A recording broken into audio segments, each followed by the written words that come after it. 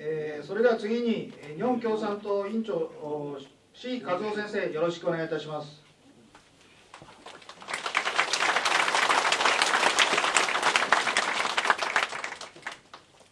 皆さんこんにちは。ご紹介いただきました日本共産党の C 和夫でございます。私はまず大震災で亡くなられた方々への深い哀悼の気持ちを述べるとともに水産業の復興のために尽力されている皆さんに心からの敬意とともに熱い連帯の気持ちを送りたいと思います。今政府がやるべきことは何か。水産特区構想なるものを上から押し付けることではないと思います。復興のために一体となって頑張っておられる漁業者の皆さんに対して未来に希望が持てる支援に全力を挙げる。これが政治の仕事ではないでしょうか。私たちは岸壁と漁港の整備市場の再建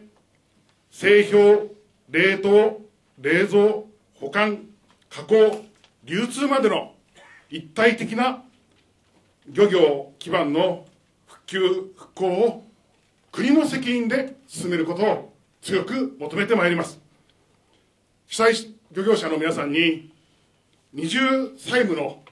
重荷を背負わしてはなりません。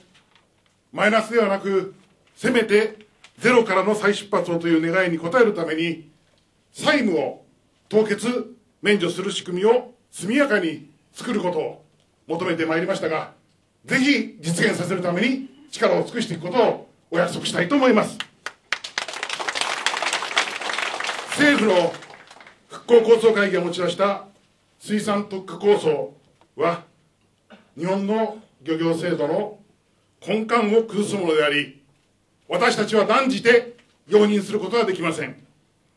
私たちも皆さんと同じく漁業における企業の役割を一律に否定するものではありません。しかし企業が地元の意向を無視して強引に